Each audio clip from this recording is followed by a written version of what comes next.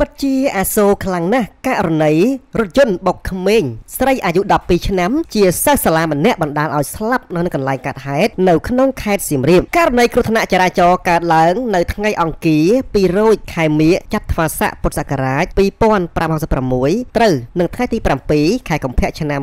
2023វេលាម៉ោង11:45នាទីនៅលើកំណត់ផ្លូវជាតិលេខ6ត្រង់ចំណុចគីឡូម៉ែត្រលេខ329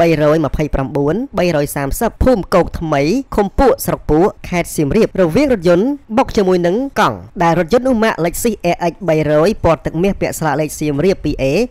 6099បើកបរដោយជនមិនស្គាល់តាក់សញ្ញាណបើកបរទិសដៅពីលិចទៅកើតក្រោយពេលកើតហេតុបានទុករថយន្តចោលចុះរត់គេចខ្លួនបាត់បានបុកមនុស្សជិះកង់ឈ្មោះជាស្រីរតភេទស្រីអាយុ12ឆ្នាំ ជាសិស្សថ្នាក់ទី3ជិះកង់ពណ៌ទឹកប្រាក់មានទិសដៅពីត្បូងទៅជើងឆ្លងផ្លូវហេតុការណ៍នេះបណ្ដាលឲ្យឈ្មោះជាស្រីរតបានស្លាប់គណៈរថយន្តមួយគ្រឿង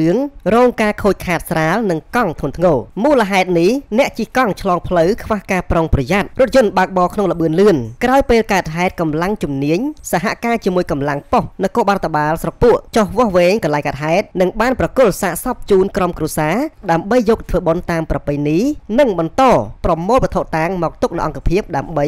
បន្តចាត់វិធានការតាមនីតិច្បាប់បាទករណីនេះដែរអេដមីនក៏សូមផ្ដាំផ្ញើទៅឪពុកម្ដាយមួយចំនួនដែលមានកូនតូចតូចបាទអាយុ9ឆ្នាំ10ឆ្នាំ12 13ឆ្នាំនេះបាទអញ្ចឹងសូមប្រុងប្រយ័ត្នឲ្យមែនតែនការបណ្ដាបណ្ដោយកូនឲ្យជិះកង់ បាទទៅរៀនឬក៏ទៅទីណាក៏ដោយបាទអញ្ចឹងសូមប្រាប់ឬក៏អប់រំកូនជាប្រចាំពេលឆ្លងផ្លូវសូមឲ្យមានការប្រុងប្រយ័ត្នបាទជៀសវាងដោយករណីនេះអញ្ចឹងបាទអញ្ចឹងគាត់ក្មេងបាទគាត់មិនសូវយល់រាក់យល់ជ្រៅគាត់បត់កង់ទៅប៉ះឡានមានអីបាត់បង់ជីវិតតែម្ដងអញ្ចឹងឪពុកម្ដាយមានតែការសោកសង្រេងការអាណិតស្រណោះនឹកឃើញអោកូនគេកូនឯងហើយបាទអញ្ចឹងធ្វើម៉េចក្នុងនាមជាឪពុកម្ដាយសូមអប់រំកូនជាប្រចាំបើអាចបើសិនជាមានពេលវេលាបាទក្មេងប៉ុណ្ណឹងយើងអាចជូនទៅរៀនសិនក៏បានដែរតែបើថាយើងមិនមានពេលសម្រាប់ជូនទេបាទអញ្ចឹងអប់រំកូនធ្វើម៉េចបាទជៀសវាងតែមានបញ្ហាកើតឡើងវិបរិសារីនឹងពេញមួយឆាកជីវិតតែម្ដង